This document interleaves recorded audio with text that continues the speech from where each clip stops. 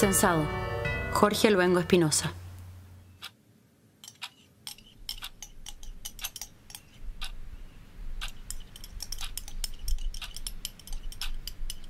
Terminaba de sorber el último resquicio de café en mi tazón, la borra misma de azúcar y espuma que no pretendía desperdiciar, raspándola para sentir el sabor amargo dulce cuando escuché el timbre y abrí la puerta al desconocido.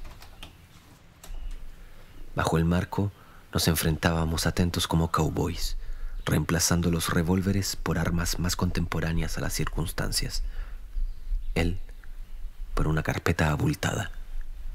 Yo por un aliento a fiambre. Me saludó con rostro serio, entre cordial y sombrío, como debía ser para una persona que cumplía funciones de índole administrativas, pensé, mientras le respondía con una sonrisa amable sin dejarme alterar por su carácter. Lo invité a pasar, que se sentara, se pusiera cómodo, como en su casa creo haber dicho, y que esperara ahí, en tanto partía a la cocina en busca de un vaso de jugo, otro de leche, unas pocas galletas que había comprado antes que cerrara el comercio y que guardaba para esta ocasión tan solemne.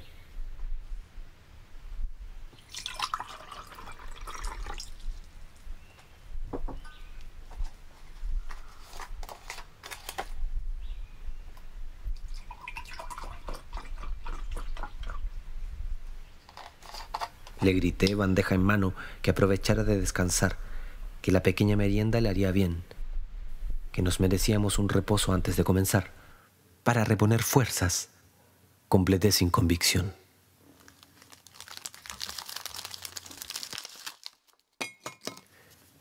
Ingresé donde estaba y lo vi instalado sobre mi sofá color rojizo, hirsuto, con sus alambres desmedrados a la vista que impedían recostarse en él sin salir libre de rasguños, tan maltraído por el tiempo que ni la luz propagada desde atrás por la lámpara aún encendida sobre una nimia mesa redonda conseguía dar cuenta de su otrora bondad agolchada.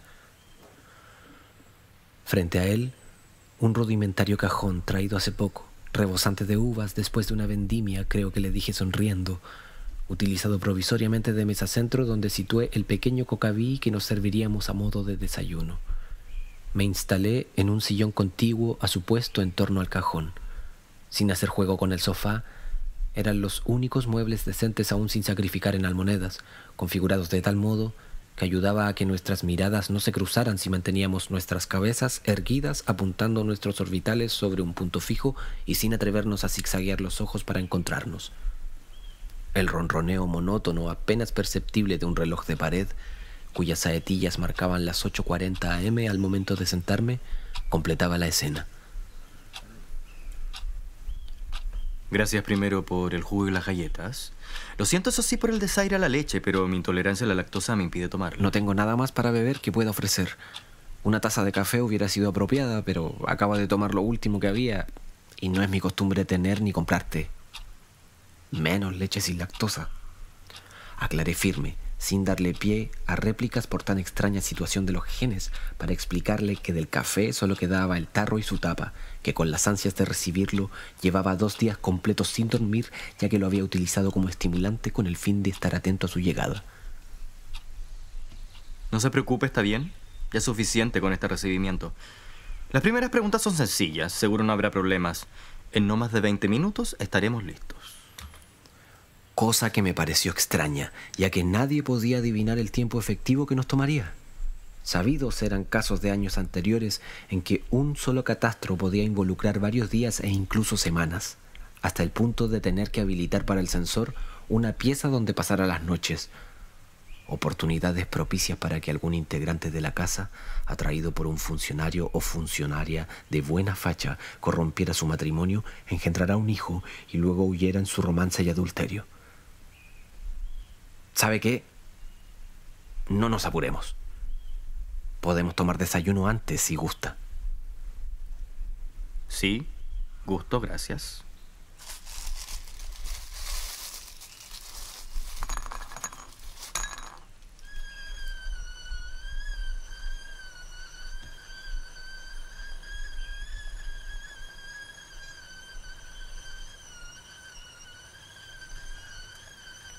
La incomodidad de los primeros minutos se había esfumado y mi sensor deambulaba como en su propia casa.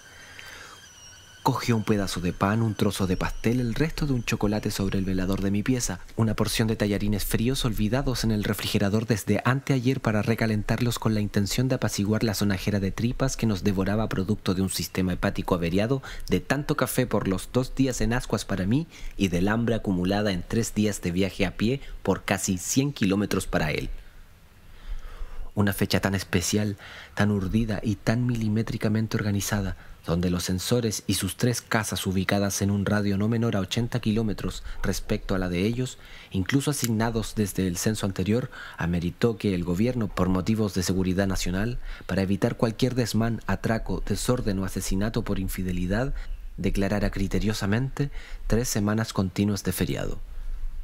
Satisfecho, empuñó su lápiz y comenzó. Nombre completo, por favor. Milagro del tránsito. Antes de seguir con mis apellidos a la espera de la sorna habitual de quienes oyen mi nombre por vez primera, ignorantes que asocian milagro a nombre femenino y tampoco comprenden el significado del tránsito. Aunque tampoco debo explicar a cada uno que aquel complemento fuera en honor al paso de cebra donde fui parido de urgencia sin darle tiempo a mi madre de alcanzar la acera siguiente, ni menos el acceso al hospital a 20 metros de la esquina. Peña Gómez. Sexo. Masculino. Edad. 21 años. Es estudiante, ¿cierto? Y se dirá que en ese punto fue donde se produjo el quiebre apenas perceptible. ¿Y qué estudia? ¿Qué, qué, qué estudio? Va a dejar constancia de eso en la ficha, ¿cierto? Titubeaba ya no tan sereno, inquieto, acaso ofuscado al darme cuenta que su pregunta era correcta. El pobre, sin saberlo, me adjudicaba con poderes heredados de Cassandra la calidad de estudiante. Mi ánimo cambiaba de tonos, no existía indiferencia y el silencio, que semejaba un abismo entre nosotros, lo convertía en miedo, temor, pánico y así hasta la locura, sensaciones evidentes al pararme sin respuesta clara producto de su deleteria insistencia. Claro, no es, no es solo curiosidad. ¿Ocurre algo? ¿Ocurre algo? Y bastó que terminara para desbarajustarme por completo, seguro de su cinismo y preso en la obnubilación que provocaba. Desde su alto mando sensor solo imaginaba su ficha y su escrito en letra imprenta mayúscula, impecable, acusado en un rincón del papel. Estudiante. Lo supe, él y el organismo para el cual trabajaba. Cómplice él y el Ministerio de Censos no querían más que adocenarme. Envuelto en una bruma viciosa que cegaba cualquier acción, me encontraba en la zona donde el desasosiego no tiene retorno, donde mirar atrás está de más e intentar resetear cualquier acto para empezar de nuevo era imposible. Sin poder disimular mi horror después de aquella visión, como una curva exponencial en un gráfico logarítmico solo desplegable sobre un rollo de papel higiénico, perdía toda cordura, mejor dicho, me la expropiaban él y los miasmas ministeriales para evitar caer en el vértigo al imaginar las consecuencias de la palabra estudiante en la primera hoja de sus burocráticas fichas bajo la reseña ocupación, señalé con permiso. ¿En cuántas ocasiones habrá pasado por esta misma situación este tipo sentado en mi sofá? ¿Cómo no? Si seres como yo hay miles, somos quienes martirizamos a estos pobres funcionarios. Podría llegar a quererlo, amarlo incluso, pero una cosa no le aceptaría jamás, tratarme como estudiante, porque como estudiante me rebajaba al nivel del kindergarten, con un mantel de cocina como delantal, de mocoso de seis años que aprende a leer con mamá más a la masa, del chico que por sus frenillos, lentes protuberantes y peinado con gomina es vilipendiado por sus pares y citado en las noticias como nuevo niño bullying, o esos jóvenes promiscuos que después de clases se largan a algún parque a besarse entre todos hasta tener sexo también entre todos y en la reunión siguiente grabarse en el punto del amor oral para subir más tarde el video a la red del repitente y el porro que no entienden nada, del irresponsable universitario que se farrea la carrera a punta de bares y cervezas antes y después de clases, de aquellos porfiados sin talento que asisten a talleres culturales para más tarde destruir el arte con publicaciones sin creatividad, o del estúpido vecino del 508 con medio siglo a cuestas que por tercera vez asiste a una escuela de conductores porque el muy torpe no distingue el embriague del freno y cree que desde la guantera se arregla el motor. Todos éramos estudiantes. Lo sabíamos de todas las edades, de todos los géneros y en todas partes. Y si muero en este mundo, qué pena pues, no me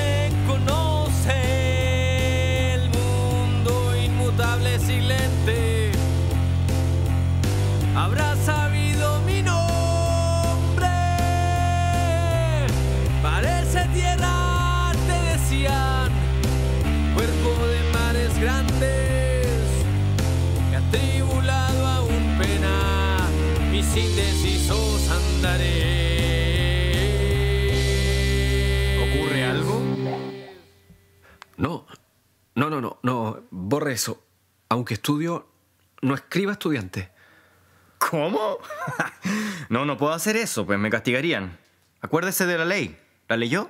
No, no la leí, pero debería cambiar estudiante por escritor. Ya noté su ocupación. No puedo cambiarla. En todo caso, no hay problema si de verdad estudia. Pretendía convencerme que, en su negligencia, en su apuro por llenar la ficha, no había ningún problema. El papel color rosa no permite borrones ni manchas. De ser así, el particular olor a lavanda, la cadaverina, se perdería, evidenciando la adulteración, pues y yo mismo podría ser sancionado. Sus amenazas pueden ser causales de castigos, así como cualquier incitación a corregir el material, y tendría que entregar a las autoridades para que un tribunal Aburrido de su persona, de su trama de deficiente y sus humillaciones, me lancé sobre él tumbándolo en el sofá de dos cornetes. Derechazo perfecto sobre su nariz el primero y más escuálido el segundo. Previendo mi arremetida, alcanzaba a hacerme quite y se desplomaba de costado, momento que aproveché para agarrarlo de su solapa impecable y arrinconándolo contra el sofá y ya encima de él, mirando su jeta manchada en sangre, le dije, salga de mi casa, vuelva a tocar el timbre, vamos a partir de nuevo con otro formulario. Ya, si aquí no ha pasado nada, ¿no se da cuenta? Soy escritor. De mi boca expulsaba saliva, lo mesaba. Luego lo solté. Un empujón, un puntapié, un escupo. El vaso al suelo, roto al lado de él, y su traje mojado. El papel rosa hecho añicos, mis manos con restos de cabellos. Restregué ambas en su figura manchada, astillada por los vidrios, empapada en la bebida sin consumir. ¿Y tú qué te crees? ¿Un imbécil acaso? Antes de ser nombrado censor, además de desempeñarme como librero en mis horas libres, soy bibliotecario y nunca he oído de ti. Si yo no te conozco, no te conoce nadie. ¿Cómo que no soy escritor? Oficio mío desde los seis o siete años, comprobado por pilas de cuadernos repletos de principio a fin durante 12 años de colegio, acompañado de libros repletos con apuntes, cientos de cartas y tarjetas entregadas en Navidad, Día del Padre, de la Madre y de la Amistad. Mi correo electrónico, dos cuentas completas con más de 10 megabytes en envíos, miles de notas en papeles sueltos, olvidados en quizás dónde o botados a la basura, como los menús del pedido del supermercado afirmados por un imán con forma de fruta contra la puerta del refrigerador, o los cientos de números telefónicos con sus respectivos dueños anotados cuando aún no tenía celular, e incluso mi nombre escrito en el cajón vendimiador, apropiado de la última cosecha para recordar en ese momento que ese, y no otro, era mi cajón. Por supuesto que soy escritor. Se desquitó conmigo. Llevó a juicio mi actitud hacia él. En su calidad de censor y delator, concurrió a denunciarme apenas finalizada su labor. De eso me enteraba más tarde en el tribunal. Se me citaba dos meses después de nuestro exabrupto al Ministerio Público de Riñas. Al momento de mi notificación despotriqué contra esa ley que nunca leí y menos comprendí cuando con aires ufanos intentó hacérmela saber aquel día en mi casa y que de acuerdo a sus artículos incurría en serias faltas. Acoso y agresión en contra de un funcionario del organismo censor del gobierno. Impedimento del normal desarrollo del censo nacional y destrucción de material estadístico propio y exclusivo de los censores el día de mi declaración ante la fiscalía, confiado que un derechazo, unos jirones y otros cuantos improperios no valían la pena tanto alboroto, esperanzado por una sentencia favorable, acudí presto para finalizar pronto el trámite. Esperé la decisión del tribunal tranquilo, hasta que el juez a cargo del caso, un viejo de catadura bonachona vestido de negro, dictó desde su estrado en tono hospitalario. Bueno, Milagro, su falta fue grave. Pero no se alarme, no irá a la cárcel. Tampoco tendrá que pagar fianza por cuanto sabemos su precaria situación económica. No posee más bienes que unos deshilachados muebles. El departamento donde vive es prestado. Y tampoco tiene dinero en efectivo. Por tanto, al no tener por dónde usufructar, el caso quedará remitido a la organización más cercana, donde usted sea partícipe, y ellos decidirán. Y sin agregar nada más, el asunto terminó para la fiscalía, no sin antes expender mi causa a la universidad donde estudiaba, única institución de la que era parte. Castigado, sancionado, exiliado y deportado de cualquier institución de estudios, sin derecho a beca y menos apelación según las estrictas normas basadas en la intransigente ley de censos, no tuve más opción que abortar a mi calidad de estudiante ocupación de la que tanto temí se me señalara en aquel papel rosa hace diez años atrás. Paradoja del destino, mi cliché por años siempre que recordaba el tema.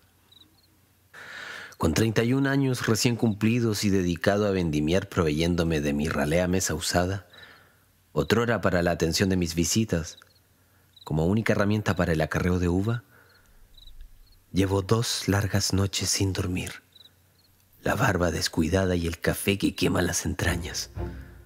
Me paro, me siento, me paseo, miro la hora. El antiguo reloj mural, único sobreviviente de aquella escena, marca las 4.37 am y me encuentro más nervioso que la última vez. Sin embargo, mejor preparado, pues no pretendo abatirme, hundirme en la locura o dejarme despojar de mi dignidad por el imberbe que está por llegar tocando el timbre o golpeando la puerta, y cuando pregunte ocupación y responda escritor, le restregaré estas hojas en su rostro de nariz limpia y ahora sí, sí tendrá que creerme.